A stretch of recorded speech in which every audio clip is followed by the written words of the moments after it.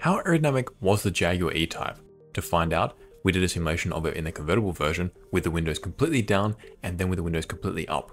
Now, a lot of people think that this is one of the most beautiful cars in history, and if you think it is, then you're wrong. So let's focus on it with the windows down. The aerodynamics of this car are a little strange because there are some really good bits, but some really terrible bits too. For example, at the front, the flow is pretty well behaved. Because the car is so pointed here, it really divides the flow nicely into two halves, and impressively, the air doesn't accelerate much as it travels over this region, which is very rare. Usually the flow really accelerates over the nose of the car, for example, the Audi R8. Then as the flow travels over the hood, it is incredibly well behaved. That is because the hood is almost completely flat, so the flow is quite straight too. But, while that may seem really good here, this strength actually becomes a massive weakness of the Jag. You can see that as the flow meets the windshield, everything goes haywire. To begin with, the flow crashes into the windshield and we can see that it becomes greener and bluer, which means it is decelerating. We'll see later how that affects the pressure. It is then aggressively redirected upwards, which sets the rest of the Jag up for problems because once the flow reaches the top of the windshield, it's traveling so sharply upwards that it just blows out and creates a massive wake over the cabin. Now there was always going to be a wake over the cabin, but if Jaguar sloped the windshield more, the wake wouldn't have been so severe. As it stands, a huge amount of drag is created because of this recirculation zone. And things get even worse because you can see that the flow doesn't even reattach, so the rest of the car is just now in separated flow. So in a way, the extremely large wake from the front windshield is actually good in the sense that you can pretty much do anything you want on the rear of the car, and it wouldn't affect the aerodynamics. Uh, you could even put a turret at the back and you'll still have similar aero. One thing Jag could have done to reduce the wake over the back of the car is to raise the back up so you effectively still have the rear window, but you've just cut off the roof. And that's it. That way the air has something to reattach to, and the wake would be smaller, and the drag would be much lower. As a bonus, the people wouldn't be blown around as much, or maybe not the driver, depending on what the passenger is doing, but the passenger would be blown around less because of the shielding. As it stands, the really flat back surface is just too out of alignment with the flow and too low down for the air to reattach, so the car's wake becomes huge.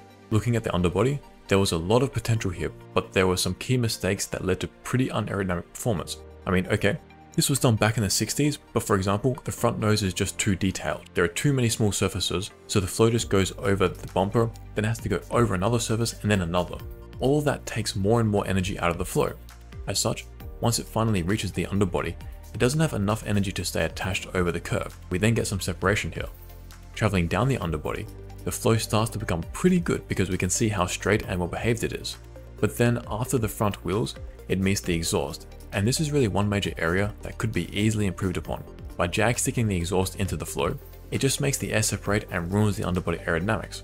The exhaust travels almost the entire length of the underbody, and so the air has little chance to produce really good downforce. And because the flow is so chaotic, once it reaches the diffuser, it separates and produces even more drag and even less downforce, you can see that the wake here is very much downwards, which tells us that lift is being produced. Let's now look at the pressure to see how it was affected. Immediately, we see a lot of high pressure over 200 pascals at the front. This has to do a lot with a large bumper. Over the top of the roof, we get very low pressure, which tells us that lift is being produced here. That low pressure could be mitigated by rounding the nose less and making it more pointed. Then, because all of that air was crashing into the front windshield, the pressure skyrockets, and because the windshield is so upright, much of that high pressure creates a lot of drag, especially considering that the inside face of the windshield is very low pressure, so the pressure drag is huge here. In the cabin, we see very low pressure, which means that air will be sucked into it more, and that creates more blowing for the people inside. I guess as a bonus, the low pressure here helps suck the people down into their seats, so there is little chance of them flying out. But this low pressure also creates even more lift for the car itself. Then the flow over the rear is very low pressure, which again increases the lift. So overall, the top surface is producing lift everywhere except the windshield. As for the underbody, the highly stylized front is actually pretty good in the sense that it produces very low pressure locally, and hence downforce here. But that comes at the expense of drag, and you could probably get even more downforce without the drag penalty by simplifying the front and just rounding it a little more. The rest of the underbody is producing okay low pressure, but overall, the average pressure here isn't as low as it is over the top of the drag. How does the windshield affect the cabin though? To find out, we have this top view, and it's pretty cool because the cabin is kind of acting in its own cocoon of slow moving air. In fact, velocities down to almost 0 meters per second are found right in the middle. But there is obviously a lot of swirling, which is what makes non-bald people have their hair swirling around too. It's pretty cool how between the edge of the windshield and the side mirror, the flow just shoots through at almost 30% faster than the freestream flow. One major saving grace of the windshield is that it is quite rounded, which helps guide the flow a little more around, and from this pressure plot, that actually reduces the pressure a little. If it was flatter, then the pressure would be even higher, particularly as you move to the edges, which would then manifest itself as even higher pressure drag. The low pressure in the cabin is all encompassing, like if you tried to jump out of this car at high speed, you would probably feel a little bit of suction pulling you back. Looking at these vortices, the good news is that because much of the car is in a wake, very few vortices are created over the top of it. But the cabin is obviously producing massive vortices. The front wheels suffer from large jetting vortices lower down, but also larger vortices from the top of the wheels and wheelhouses, which are pretty rare on modern cars. This is largely because modern cars shield their wheels much better. These wheels are very exposed. Likewise, the rear wheels produce very large vortices too. The rear has some vortices, but is actually one of the more well-behaved regions. These streamlines show us just how disjointed the flow is over the Jag. It is really nice over the front, but then it hits the front windshield, zips over the cabin, and just goes haywire from there. One thing to note is you can see at the edge of the windshield, the flow seeps down over the side of the car before jumping back up over the boot.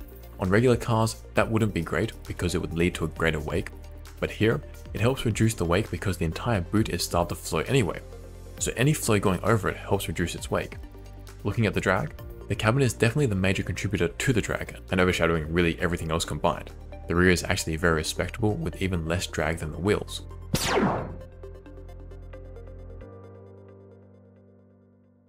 Oh wait, no way. Its drag coefficient is 0.45, which is equal to a 60s Beetle. What about its lift? It comes in at 13.8 kilos at 72 kph, which is very high, but expected. Now that was for the windows down. What happens when you put the windows up? Let's find out. From this side view, there isn't too much of a difference. There is still a massive wake over the cabin, but perhaps there is a little less wake over the rear, just marginally. The rear diffuser is still pretty terrible too. The pressure looks pretty similar here too, with very low pressure in the cabin and then a little higher pressure over the boot. Looking from above, Perhaps one difference is that the wake in the cabin becomes squarer with less flow from around the windshield rushing inwards. But there are still a bunch of recirculation regions inside which still blow around the people. And perhaps a little surprisingly, the streamlines still follow a very similar path, they pop up over the cabin pretty equally. Maybe you could argue that the cabin drag was slightly lower here. So when driving in the convertible version, having the windshields up or down doesn't really change the aerodynamics too much, and that is reflected in the fact that the drag coefficient was almost the same, coming in at 0.44, and the lift being 12.8 kilos, so a little lower, but not that much. Peace out amigos,